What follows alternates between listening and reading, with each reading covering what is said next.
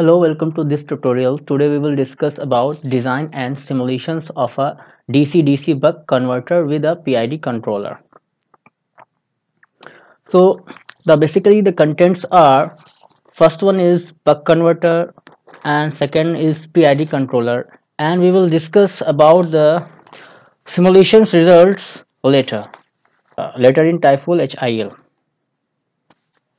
A buck converter basically is a DC to DC power converter which steps down voltage from its input to its output.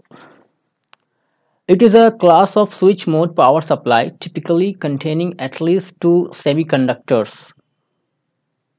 Uh, although modern buck converter frequently replace the diode with semiconductor transistor used for uh, synchronous uh, rectifications and at least one energy storage element, a capacitor, inductor, or the two, two in combinations.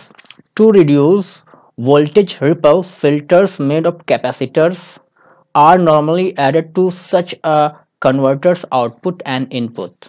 PID controllers are found in a wide range of applications for industrial process control. Approximately 95% of the closed loop operations of industrial automation sector use PID controllers.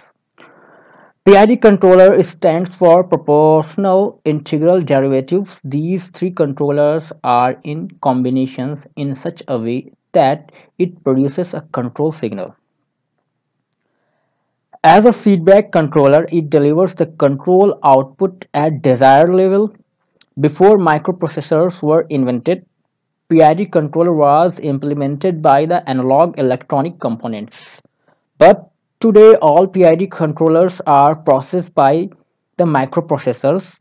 Programmable logic controllers also have the inbuilt mm, PID controllers instructions. Due to the flexibility and reliability of the PID controllers, these are traditionally used in process control applications. Now we will implement PID controller to regulate output voltage of buck converter. For this purpose, let me open schematic editor of Typhoon HIL. Now we are in schematic editor of Typhoon HIL. This is buck converter.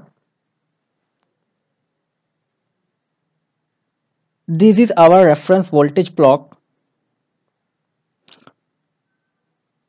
This reference voltage block is measured against output voltage. This is our PID controller. This is proportional part. This is our integral part and this one is our derivative part. Now let me compile and open model in HIL SCADA.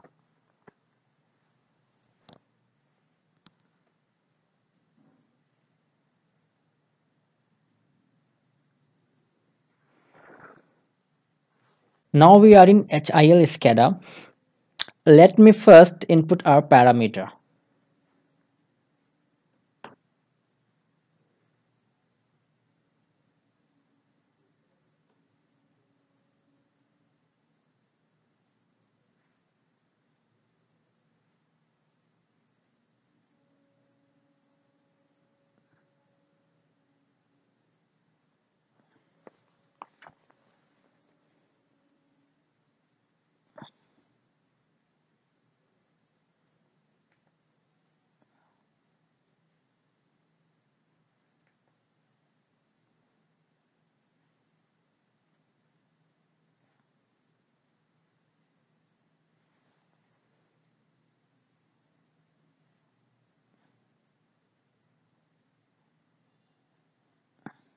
Now I will run real-time simulators of our model.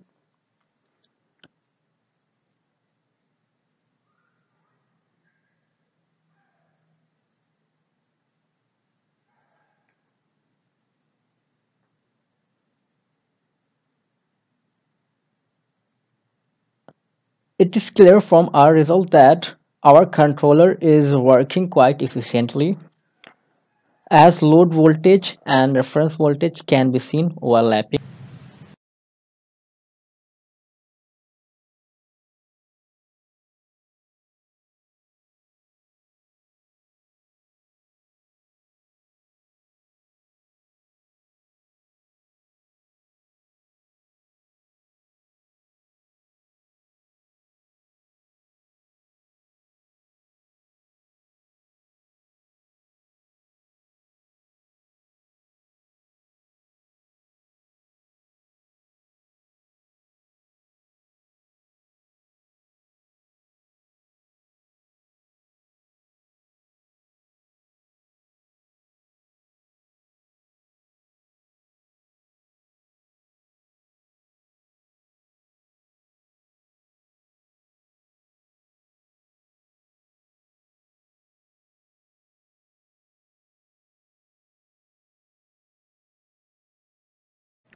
hope you would like this video. Thank you very much